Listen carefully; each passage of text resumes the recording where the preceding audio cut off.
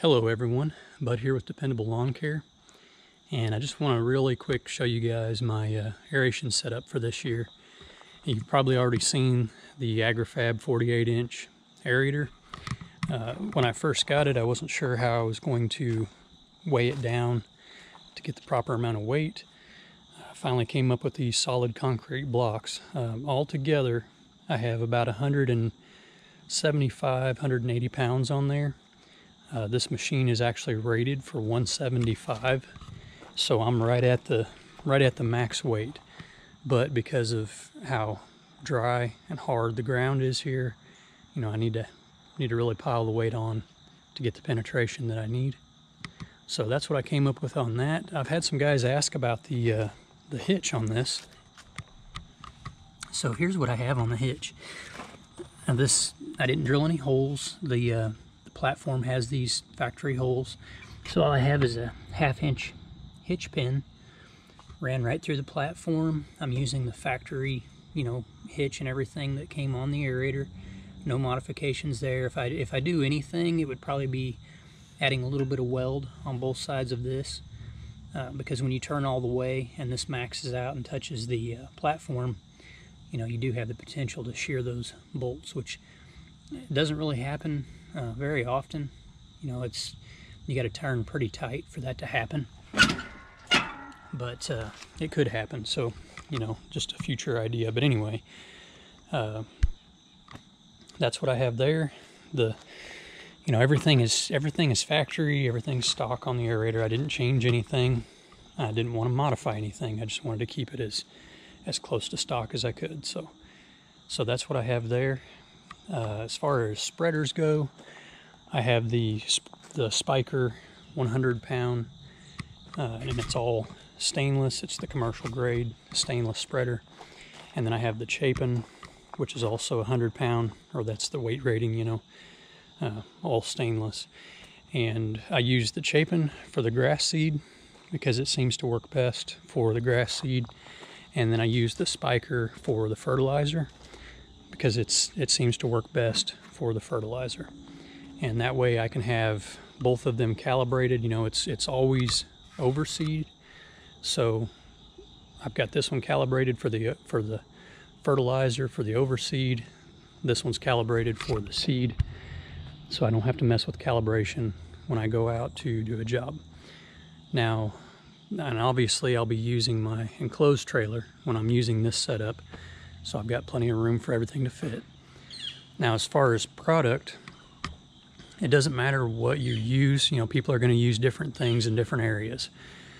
Uh, I'm mainly just talking about equipment, so just ignore the grass seed and the fertilizer. I'm using a Cobalt uh, two-wheel wheelbarrow for the fertilizer, and that's just to make it easier to, you know, track it in and out of the trailer. If I go out and aerate all day, um, I'm probably going to use up everything I take with me, but if I go out and I just aerate for a little while, you know, half a day, I may not use all this up. So it just makes it easier loading and unloading the trailer. And then I have the Gorilla, Gorilla cart, and this is the larger size Gorilla cart. I believe it's rated for 1,200 pounds. And I keep my grass seed in there. I can haul up to six bags of grass seed on here, even though that's not, you know, anywhere near the weight rating. That's just how many I can fit. And then about five or six bags, 50 pound bags of fertilizer in the wheelbarrow is about what I can fit. So allows me to get, you know, quite a bit of capacity that I can just literally roll in and out of the trailer. So this is everything that I'll take with me. And then I'll show you real quick my, uh, my shop, my little storage building here. So I used to have a lot of material stored here. Well, um, that shelf isn't very deep and it just ended up working better to put other things on as you can see. So this shelf that I built in myself, it's deeper, taller. Uh, the bench itself is about waist height, which is ideal for loading and unloading products so you're not bending over. Not doing a lot of bending over. So keep some fertilizer in stock here, keep some grass seed in stock here, this building stays dry. It's not temperature controlled, but that doesn't affect the fertilizer or the seed. So I can keep this in here year round. And uh, obviously in a typical season, I'm going to go through more product than what I have on the shelf and what I have in the, in the carts. But it's a good start. Uh, I don't want to be one of those guys that shows up to my local supplier and needs, you know, a thousand pounds of product and they only have 500 in stock or, you know, they only have four bags of seed left or, you know, whatever the case might be. Uh, typically, they keep a pretty good stock here, but I just like to think ahead, plan ahead.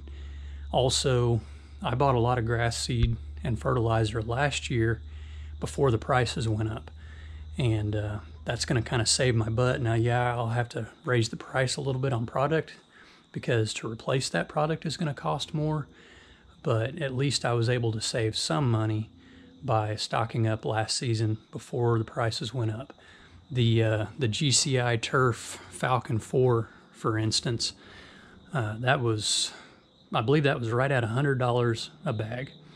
Uh, by the end of the season, it went up to 120 a bag, and now I don't want to misquote, but I want to say it's 150, 160 for a 50 pound bag. Okay, so that is steep, and it's really good stuff, but it's steep. The just basic Kentucky 31 tall fescue that's uh, you know, lawn or pasture, basically. Uh, that is right at $100 a 50 pound bag right now. And that's in my area. That's, that's different depending on the area you're in. Uh, last year, the Kentucky 31 was about 80 pounds or $80 a 50 pound bag. So prices have gone up just like everything else has. You know, we're, we're, uh, we're paying for everything that's going on, and that's it's not anything that you can do anything about except trying to plan ahead and buying materials when the price is down if you possibly can and if you have a place to store them. So, anyway, guys, uh, that is my aeration setup. We have rain coming tonight and tomorrow, which will soften the ground up a little bit so that I can get on these aerations. Uh, typically, the first and second week of fall here in southern Missouri is when I try to do my aeration overseeding and that seems to be the best time. It works out the best. I usually have a little bit of downtime right around that time between the end of mowing season and the beginning of my leaf cleanup rounds. So so that week or two that I have is when I try to squeeze in all my aerations. And I and I pretty much have to wait for rain. If we don't get some rain, then the aeration stuff just has to wait because our ground here is just too hard. There's too much clay, too much rock, and uh, it just doesn't work very well. You know, irrigated yards, yeah, I can jump right on those anytime I want. Works out fantastic. But anywhere else, I really have to wait until we've had a little bit of rain to soften up the, the top two or three inches of soil. So that's my setup, guys. Uh, I'm not going to get into cost or anything like that. You guys can look up all these products. The prices change all the time. I will say that the aerator and both spreaders I purchased on Amazon. So, you know, all of that is available on Amazon. Uh, I have a Prime membership, which saves me on shipping and uh, sometimes saves me on the actual price. So that's something that I utilize. And uh, other than that, guys, all I can say is thanks for watching. If you haven't already, please subscribe. Get out there and make some money, and we'll catch you on the next one.